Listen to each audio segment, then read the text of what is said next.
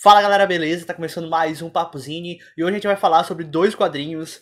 Primeiro, esse aqui, Alho Poró, a nova obra da Bianca Pinheiro e Eventos Semi-Apocalípticos Eduardo e Afonso, do Yoshi Tisse. É, bora comentar sobre esses dois quadrinhos, espero que vocês gostem desse vídeo. Bora lá, solta a vinheta.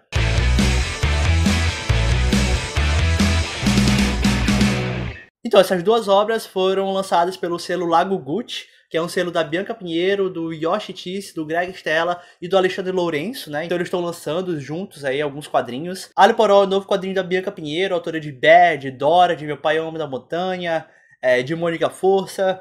E aqui ela consegue surpreender a gente mais uma vez com a sua versatilidade. E a versatilidade dela, tanto na temática da história, como também no estilo de desenho. O traço tá diferente de tudo que ela já tinha feito até então. E eu gostei muito, cara. Eu achei esse, esse estilo de desenho muito legal mesmo. Aqui a gente acompanha duas amigas indo ao supermercado, é, procurando por alho poró, ingrediente que tá faltando pro quiche que elas vão fazer junto com uma terceira amiga. E o quadrinho vai se desenrolando ali com diálogos sobre o dia a dia, sobre memórias do passado, por exemplo, algo que aconteceu é, na escola que uma delas estudava. E um parêntese aqui para elogiar os diálogos muito críveis que a Bianca consegue fazer. É, ela manda muito bem nisso, não é todo autor que consegue fazer diálogos realmente dessa forma. E quando você pensa que vai ser só isso mesmo, a história dá uma virada para algo surpreendente e você fica ali se perguntando o que, que acabou de acontecer. E é isso, um quadrinho bem legal, com baita desfecho. E mais uma obra boa aí da Bianca Pinheiro, cara, que tá mandando muito bem. A Bianca é uma daqueles autores. Acho que todo mundo tem aquela lista de autores que você vai acompanhar tudo que, que a pessoa lançar. E a Bianca tá nessa minha lista aí, tá lá em cima, na verdade, nessa minha lista. Tudo que ela lançar eu vou acompanhar, porque, enfim, eu curto muito o trabalho dela. E ela mandou muito bem outra vez aqui. O próximo quadrinho que eu vou comentar é Eventos Semi-Apocalípticos Eduardo e Afonso, do Yoshi Tisse. Aqui a gente acompanha esses dois personagens, o Eduardo e o Afonso. Sim, o Afonso é uma secadora de roupa. Eu acho que essa é uma das coisas mais engraçadas aqui do quadrinho.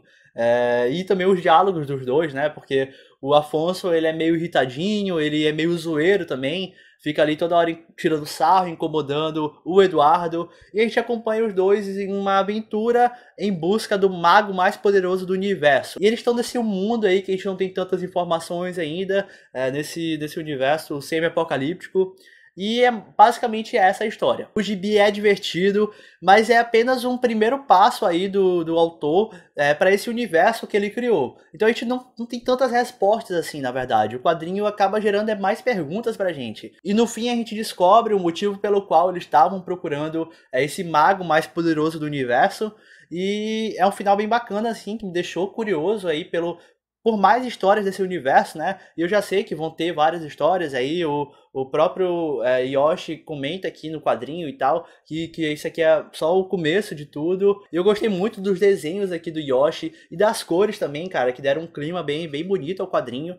E uma coisa que eu gostei também é da ambientação. A gente não sabe muita coisa sobre esse universo, mas a gente sabe que aconteceu alguma coisa ali. Então, enquanto eles estão andando pelas ruas e tal, a gente vê carros é, abandonados, é, prédios destruídos. Então tem todo um climão dessa, desse, desse estilo aí, mas a gente não sabe muito bem o que aconteceu e talvez a gente descubra mais com as outras histórias aí produzidas por ele. Mas é um gibi legal, acho que vale a pena a leitura e eu tô curioso aí pelos próximos.